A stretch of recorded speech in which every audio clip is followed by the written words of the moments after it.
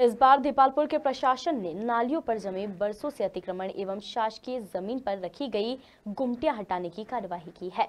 यह कार्यवाही दीपालपुर नगर के बेटमा रोड से शुरू हुई, जो कि बेटमा नाका तहसील रोड, खाड़ी व चमन चौराहा तक की गई है। वहीं नगर के चमन चौराहे से लगाकर इंदौर नाका रोड, बस स्टैंड, मंगलेश्वर मार्ग, गौतमपुरा रोड बनेड़िया नाका भोई मोहल्ला, मुख्य बाज़ार, बड़वाली गली, तिलक मार्ग तक कार्यवाही शेष रही है।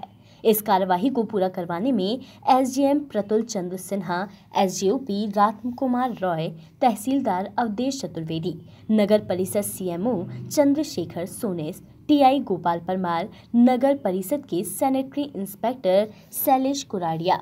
योगेश सोलंकी आदि मौजूद थे। जिन अतिक्रमणकारियों ने नालियों पर अतिक्रमण, शासकीय ज़मीन पर गुमटियाँ रख रखी थी, उनके पेट पर लात पड़ने के कारण प्रशासन व नेताओं को जिम्मेदार ठहरा रहे हैं और मांग कर रहे हैं कि अगर यह कार्यवाही पूरे नगर में, पूरे बाज़ार में हुई तो निष्पक्ष कार्यवाही कह पाएँगे। नहीं तो नेताओं के दबाव में कार्यवाही अधूरी छोड़ दी गई तो हम उसका पुरजोर विरोध करेंगे। अतिक्रमण हो यहाँ पर कोई अतिक्रमण नहीं था, यहाँ पे छोटे लोग थे, जो लोग यहाँ से अपना परिवार, अपना घर चलाते थे, जिनकी दाल रोटी की व्यवस्था होती थी, उन लोगों की दाल रोटी की व्यवस्था इन शासन प्रशासन और यहाँ की प्रदेश की सरकार या जो जिस व्यक्ति ने भी ये मुहिम चलाई है, उन्होंने गलत किया है और इसका खामियाजा भी ये जनता देगी, इनको भुगतना पड़ेगा।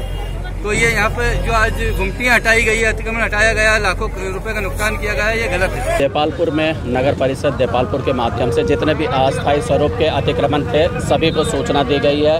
लगातार अनाउंसमेंट हुआ है और हम लोगों ने सूचित करने के बाद आ, आपने देखा होगा कि लोगों ने स्वेच्छा से अतिक्रमण हटाए हैं और ये बहुत अच्छी स्थिति होती है।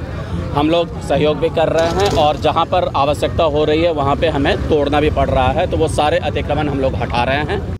रिपोर्ट, खबर मध्य प्रदेश मध्य प्रदेश की लगातार खबरों से जुड़े रहने के लिए हमारे चैनल को सब्सक्राइब करें और साथ ही हर अपडेट के लिए बेल आइकन दबाना न भूलें।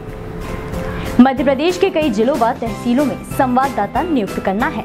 हमसे जुड़ने के लिए स्क्रीन पर दिए गए नंबर पर संपर्क करें।